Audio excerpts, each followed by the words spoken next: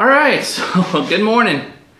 Man, I miss this stuff. It's just been so busy, but I just miss working out here and, and getting everything done and even doing these videos. I haven't edited a video in a couple weeks now, so trying to get back into everything. But we did get some things accomplished, just, just haven't had time to be out here in the garage too much. Um, well, I say out here, filming too much. Everything's been in a hurry and a rush these last few weeks. But hopefully I can get back on track now. The RD's finished, um, got the calipers out.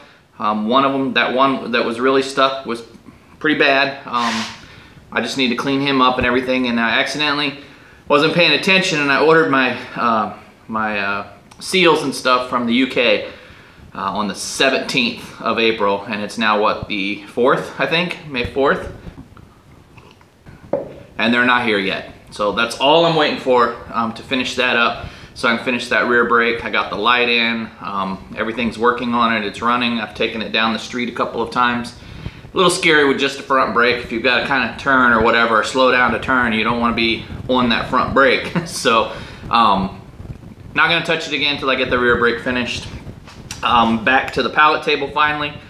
I finally got some 12 inch was the longest ones I could find, but the idea is that since these are you know, warped and I didn't, I, I, I, guess the glue didn't hold very well or I didn't press it enough when I did it. Um, on the ends, which is probably where I didn't have enough glue, um, are coming apart a little bit. Plus I wanted to just, I'm gonna need something to mount it to the frame of the, the welded frame that I'm gonna make for it. So I'm gonna try and figure out exactly what kind of a square um, size will be for, for it to be square. I'll make my frame and then I'm gonna drill some holes in there and then put one of these on each um, side like this. And they overlap about the entire two boards here in the middle. So that should hold everything together tight. And then also it'll hold it to the frame for the legs and everything. So that's my idea for that. I'm just gonna get it measured off. Still have not decided if I'm gonna chop this off at the end down here or find some of those clear brick things or something to put in there, some kind of clear spacer or something. Um, most likely I'll just chop them off because I think it'll be kind of pretty with just a little bit of gaps that's going to come through.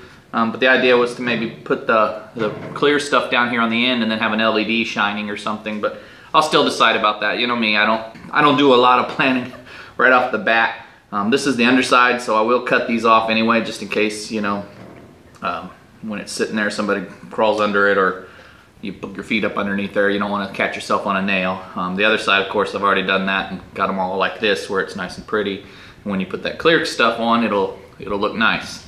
So got that. Um, we started on the truck. Um, it's been having, well, the transmission went out, my son said 100 and, 100 and some thousand miles ago. I don't know. Um, we found a used one for $300 and that's what we put in there. But it's been, well, for a while it was just a hard shift on second uh, when we first put it in, but it also has the um, V8 torque converter in it, so that could have been part of the problem. I don't, we don't really know enough about that. But anyway, um, it's been kind of really bad lately, and so we decided to just go ahead and tear it apart. He's also said that he's noticed that, um, you know, there's lots of loss of power and everything else, and he knew there was some water in the oil, that's an understatement. You can see the puddles of water in the pan over there. And then over here on the floor, of course, you can tell the separation a lot. So he did, um, him and his buddy, they finally finished their bike. Um, they got a new exhaust, an air breather, a torque converter, and all kinds of stuff. And um, they've actually got that thing to go about 42 miles an hour now. I think stock, they go about 20, right? So whatever they've done, and it sounds really cool. Sounds like a motorcycle now, like a deep uh, kind of roar to it pretty cool. Um, so they got that going. We did end up buying, well, he bought it when he did his transmission because the one that we had was too small and um, he wanted something he could close at night because he knew it was going to take him a while. So that little homemade one I had um, was good for small stuff, but for this one he did that. So he also mounted it onto um, one of those dolly things, those furniture dollies, and then you can just wheel it over there. We just store it against the wall over there. You've probably seen it in a video or two. So uh, that works out good. Um, he's gonna clean up all of these parts here and then we're gonna, we're even probably gonna take this one to the machine shop because, you know, the truck's still, I mean, it's not still in great shape, but you know, it's a truck. So even if we fix it all up and everything else, it'll still be good. So we can spend a thousand dollars and fix this up, um, you know, 1500 maybe with we taking it to the machine shop. and then have a nice truck again for a long time because we're gonna do the transmission and the motor. Um, everything's out right now, so we just got to put it all together, um, get it cleaned up, and again, we're not in a real big hurry because summer's coming up, so that'll be good because we won't have to take um, Thomas every day. It's kind of been a mess right now because the truck's been out of commission, and somebody has to pick up Thomas, take him, so they got drop me back off at work, which is really good reason. Everything happens for a reason. Always know that that's why I only work seven miles away. So now it's easy for me to take him in the mornings and then I just run home at lunch, have lunch with my wife.